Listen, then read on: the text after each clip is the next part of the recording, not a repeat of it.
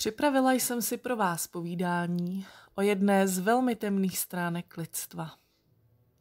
Tato historie je známá, ale myslím, že se o ní dostatečně nemluví a ve školách učí možná jen velmi okrajově. Přitom na téhle temné a krvavé historii vyrostl dnešní moderní svět a civilizace a nesporně má tahle historie stále vliv na současné dění ve společnosti. V první části bych se ráda podívala na historii otroctví novověku, na jednotlivé kolonie nového světa a přístup evropských mocností. Ve druhém videu se pak budu věnovat především životu otroků v Americe a modernímu vývoji otroctví ve Spojených státech. Pojďme se nejprve podívat do historie otroctví. Otroctví existuje snad už od samého počátku lidstva.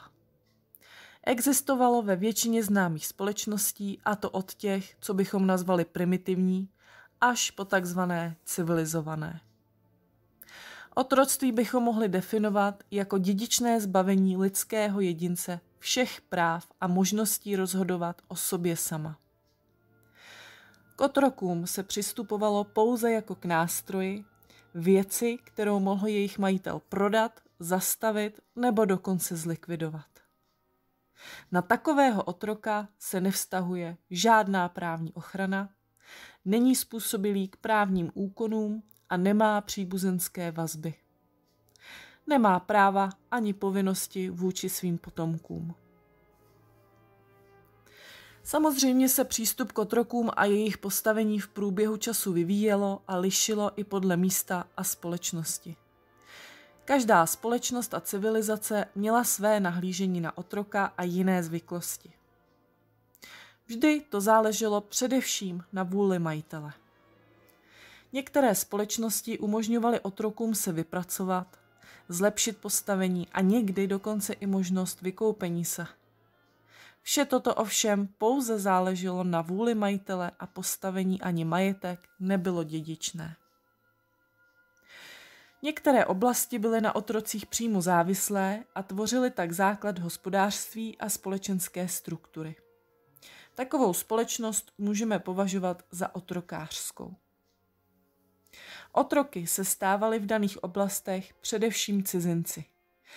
To znamená například váleční zajatci. Poražením nepřítele byli tito zajatci vlastně mrtvi a život padnul do rukou vítěze, který si to takto ospravedlňoval. Otrokem se mohl stát i někdo, kdo spáchal zločin a místo trestu fyzické smrti se stal otrokem. Většina společností na otroctví pohlížela jako na přirozenou věc, tedy že někteří lidé se rodí jako přirození otroci a jsou automaticky podřazení. Takto se například pohlíželo na černé Afričany. Tuto představu přirozeného otroctví bohužel podporovala i Bible a tak i církev s radostí šířila tuto oprávněnou moc a nadřazenost nad jinými lidskými bytostmi a formulovala si to tak, jak se to prosperující společnosti hodilo. Pro zajímavost, takovými přirozenými otroky byly i slované, čili sklavus. Z tohoto označení následně vznikly výrazy pro otroky v různých jazycích, jako slave, eskláve a tak dále. Obchod s černými otroky kvetl především ve Středomoří. V 15. století začalo Portugalsko stavět v přímořských oblastech Afriky své základny pro obchod. Kromě zlata a slonoviny Portugalce zajímali především otroci. Tyto otroky získávali levně a prodávali draze. Dle některých dochovaných spisů si království na prodej otroků přišlo na více než na výběru daní. Z Portugalska pak afričtí otroci putovali dále. V roce 1493 dokonce papežské buly potvrdili výlučné právo Portugalska na kolonizaci Afriky. Při tomto obchodování už vlastně ani nešlo o válečnou kořist, ale pouze o zboží zakoupené na trhu. Do úplně jiných rozměrů se začínáme dostávat, když se otroci začali využívat k výrobě cukru. Výroba byla v Evropě známá už pár století. Původně se cukr využíval jako lék, ale postupně se přidával do jídla a poptávka rostla. Výroba byla náročná, jak fyzicky, finančně, tak časově. V průběhu 15. století ovšem Portugalci zjistili, že se cukrové třtině náramně daří podél afrického pobřeží a rozjeli tak biznis. Levná pracovní síla teď byla potřebná a zisky se jen hrnuly. Španělé také začali zakládat plantáže na Kanárských ostrovech a začali zde využívat otrocké pracovní síly. Portugalci podnikali plavby podél pobřeží Afriky a roku 1471 založili první oficiální otrokářskou kolonii Sao Tome u Konga. Obchod s otroky v Kongu byl tak rozsáhlý, že si místní král dokonce stěžoval a prosil portugalského panovníka o ukončení toho, tohoto obchodu na jeho území. Království se zde podle afrického krále vylidnilo a v touze po evropském luxusním zboží místní prodávali do otroctví i členy své rodiny. V následujících stoletích se otroctví rozšiřovalo a bylo masivní díky evropské expanzi a rozšiřování moci evropských metropolí ve zbytku světa. Aby byli Evropané schopni osídlit nová území a vytěžit maximální zisky, a to především na americkém kontinentě, potřebovali značné množství pracovní síly. Při osidlování a dobývání Ameriky se ovšem jen výjimečně zotročovali indiáni. Zjistilo se totiž, že na tvrdou práci nejsou vhodní a lehce podléhali novým nemocem a vysílení. Druhým důvodem byla i snaha, aby ochotněji spolupracovali s kolonizátory. Pojďme se nyní blíže podívat, jak využívali otroctví jednotlivé země. Španělé. Španělé nejdříve využívali otroky na Kanárských ostrovech. Pak při expanzi nového světa ve svých koloniích v Karibiku. Ve svém prvním dopisu se Krištof Kolumbus zmiňuje o tom, že místní obyvatele bude velmi jednoduché zotročit nebo s nimi zacházet dle libosti, jelikož nejsou schopní se dostatečně bránit. Vůbec nechápu, jak se ještě dnes může tento člověk oslavovat a mít dokonce svůj sváteční den. Španělé zakládali své kolonie především v Karibiku, Mexiku a na západě Jižní Ameriky.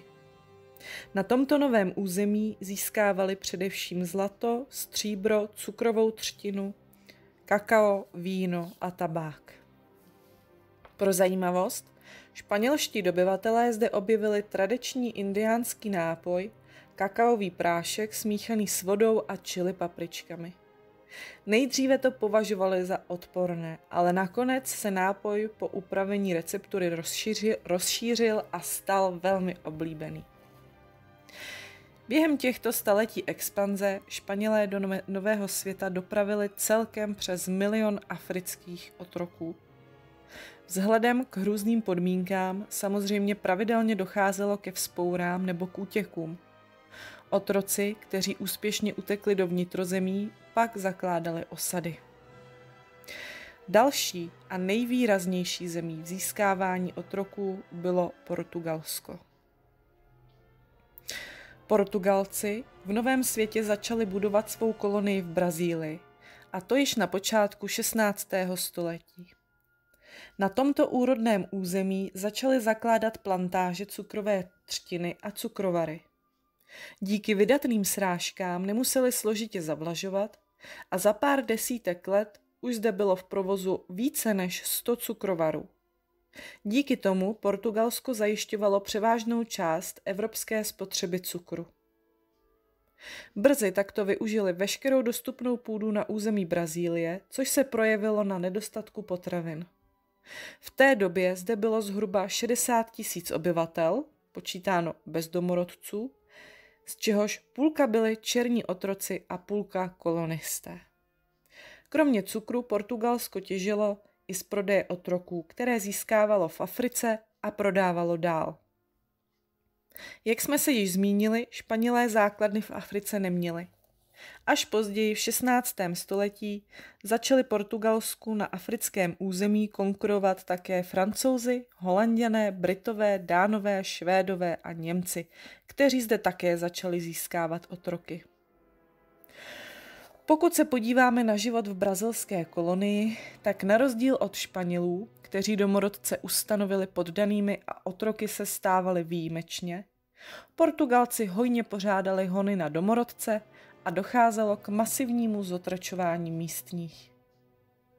Domorodců tedy začalo výrazně ubývat v důsledku epidemí, válek a drastických podmínek v otroctví.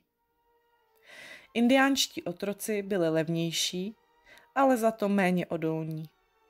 Využívali je tedy spíše chudší plantážníci. Afričtí otroci byli dražší, ale kvalitnější a odolnější. Postupem se přidalo rýžování zlata, jehož bohatá naleziště se objevila v 17. století. Rasová diskriminace zde byla hluboce zakořeněná a černoši, včetně těch svobodných, byli považováni za méně cené. I mulati neměli šanci na rovnoprávnost a například ve společnosti bílých se nesměli ani posadit. Pokud se podařilo Černochovi získat svobodu, museli stejně odvádět zvláštní poplatek do portugalské pokladnice. Nyní se podíváme na kolonie v Karibiku. V oblasti Karibiku zakládaly své plantáže různé evropské země, ale víceméně podle podobných vzorů. Zakládaly se zde cukrovary a plantáže cukrové třtiny. Výrazným produktem byl i tabák. Bílých kolonistů zde bylo minimum a většinu tvořili černí otroci. Díky umezenému území ostrovů zde probíhala velmi intenzivní produkce na malém prostoru a rychle tak docházelo k vyčerpání půdy a erozi. Ve zkratce Evropané přišli, vytěžili maximum z půdy a pak zase pokračovali na jiné území a zdevastovanou oblast ponechali svému osudu. Podmínky v této oblasti byly ještě tvrdší než v, okol- v koloniích Jižní Ameriky. Vykoupení se a získání svobody bylo takřka nemožné, protože zde byla vyloženě otrokářská společnost. Svobodní lidé, ať už jakékoliv barvy, zde neměli uplatnění. Uprchnout zde nebylo kam a tlak na zisk byl maximální. Dále máme francouze. Francouzi se do Karibiku začali dostávat počátkem 17. století, a to pomocí pirátských a loupeživých skupin bukanýrů a flibustýrů. Ti připadali španělské lodě a kolonie a na své území si pak dováželi kořist, včetně otroků. Zpočátku zde nicméně převažovala pracovní síla nájemní, tvořená z dovezených bílých pracovníků. Tito pracovníci byli většinou chudáci nebo dlužníci, kteří se upsali na tři roky. Po třech letech, pokud přežili, se mohli jako svobodní usadit jako zemědělci a pro první rok dostali od pána osivo a živobytí. Postupně se i v těchto koloniích vytlačilo pěstování jiných věcí než cukrové třtiny a i řemesel ubývalo. Pro francouze se tato oblast stala zlatou žílou, pro zisky z obchodu s cukrem a příliv otroků narůstal. Z počátečních pár tisíců ročně se počet vyšplhal v roce 1787 na 40 tisíc černých otroků ročně. V drsných podmínkách otroci průměrně žili tři roky. Přičemž zhruba po jednom roce odvedenou prací splatili náklady na výkup a Nebyl tedy takový problém po třech letech nahradit ho novým otrokem. Uvádí se, že až třetina hospodářství Francie byla v 18. století závislá na ziscích z Nového světa. Přímo ve Francii otroctví zaniklo již na počátku středověku a v metropoli žádní otroci nebyli. protože Francie, matka svobody, nedovoluje otroctví. Pokud to tedy není mimo její území, což mi přijde jako u ostatních kolonizátorů dost pokrytecké. Na největším francouzském území v Karibiku, Saint-Domingue, se na konci 18. století nacházelo oficiálně 500 tisíc černých otroků. Neoficiálně se odhaduje o 100 tisíce více. V určité době zde dokonce až třetina barevných žila svobodně a vybudovali si zde své podniky a řemesla. Od 18. století, kdy sem začalo přicházet i více bílých, se ovšem pravidla začala měnit a svobodní barevní začaly být diskriminovaní. Kromě cukrové třtiny a tabáku se postupně přidala ještě produkce kávy a bavlny. Okrajově se podíváme ještě na Dány a Nizozemce. Ti se na svých malých územích v Karibiku také pokusili o nějakou výrobu, ale brzy se tato území stala spíše bodem sloužícím jako překladiště a fungovaly spíše jako zprostředkovatele a obchodníci mezi kontinenty.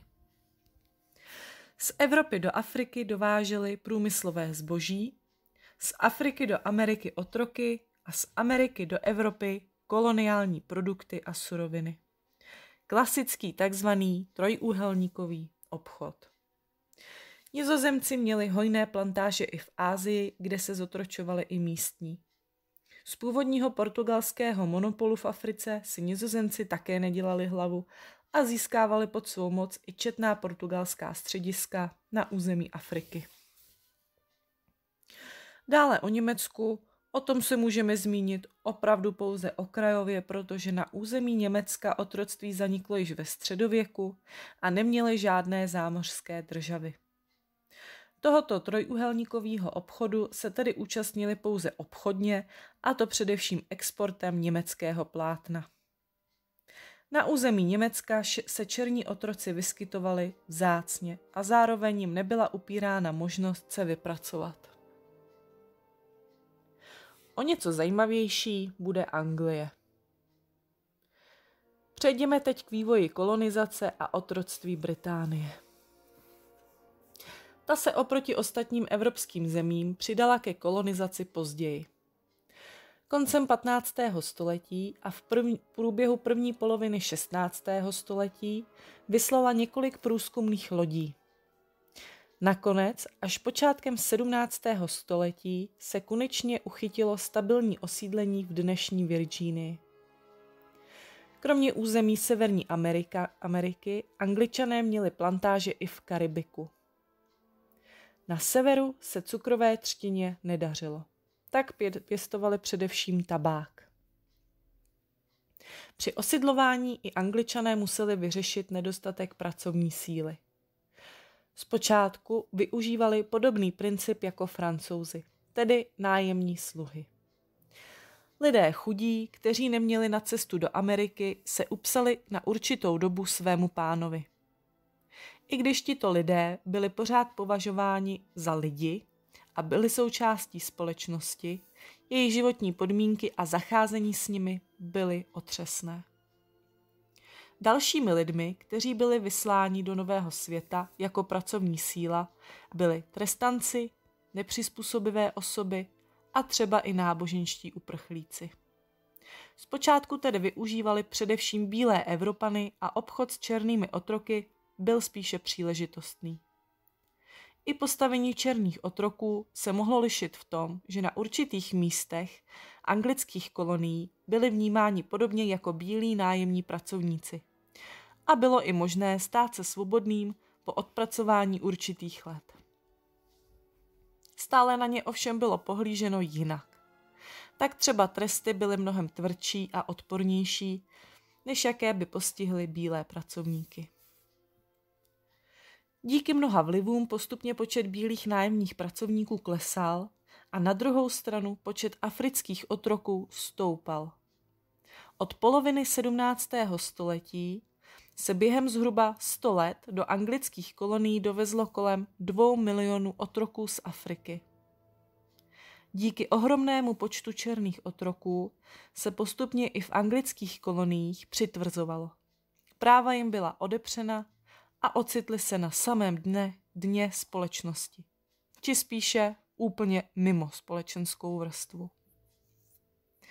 Pokud byl někdo míšenec, byl automaticky považován za černocha. Nehledě na barvu. Co se týká ostrovů v Karibiku, tak tento ráj, kam dnes jezdí lidé užít si nádheru, byl dříve doslova peklem.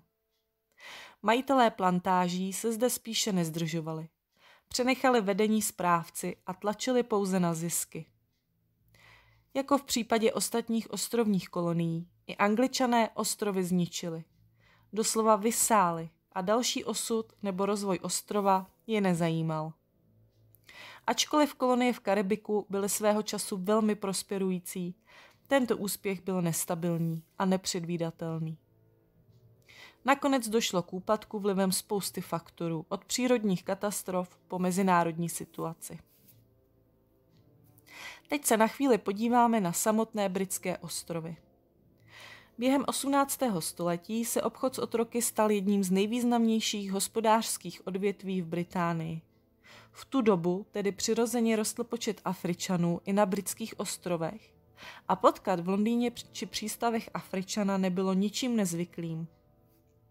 V britských novinách dokonce nabízely inzeráty ke koupi otroků. Ale i řetězů a obojků, cituji, pro psy a negry. Vlastní černé otroky se stávalo i jakousi známkou prestiže a bylo tedy zvykem se nechat vyobrazovat z psíčky a s černým otrokem jako módními doplňky. Otroci se na britských ostrovech mohli vykoupit, stát se svobodnými a žít ve společnosti. Hlavně i díky tomu, že otroctví a jeho podmínky nebyly stanoveny zákonem a vše bylo pouze neoficiální. Toto byly tedy začátky a vývoj otroctví novověku, které sebou přineslo objevení Ameriky.